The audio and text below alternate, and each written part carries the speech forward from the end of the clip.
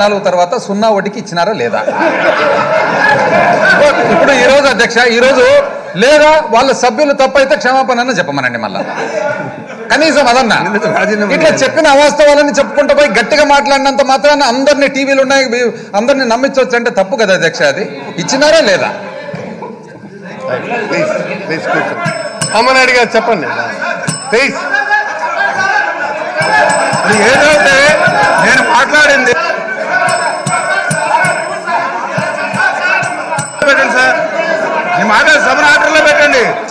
నేను మాట్లాడింది ఎస్ఎల్బిఎస్సి మీటింగ్లో గారు.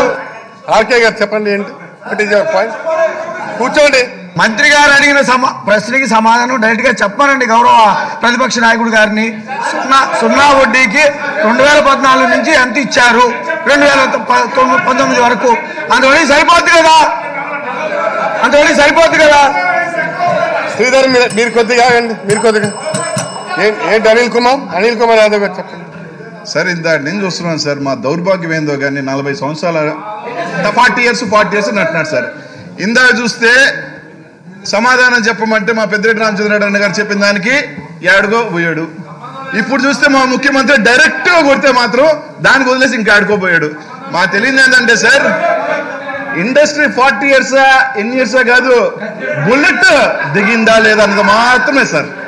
వాళ్ళకి దిగింది కాబట్టి డివేట్ అయిపోయి ఎస్ ఆర్ నో అది కూడా చెప్పలేకుండా ఫార్టీ ఇయర్స్ ఇండస్ట్రీ తడబడుతున్నాడంటే. ఇందుకనే చేయలేదు సార్. రామనాయుడు గారు చెప్పా.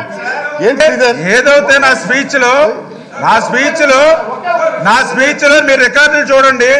నేను మాట్లాడింది ఈ రోజు ఏదైతే జగన్మోహన్ రెడ్డి గారు కొత్తగా పది పెడతానని అన్నారు అది వాస్తవం కాదు. కిరణ్ కుమార్ రెడ్డి గారు జీరో పర్సెంట్ స్టార్ట్ చేశారు. అది కంటిన్యూ అయ్యింది అనేటువంటి విషయాన్ని నేను చెప్పడం జరిగింది. దయవుంచి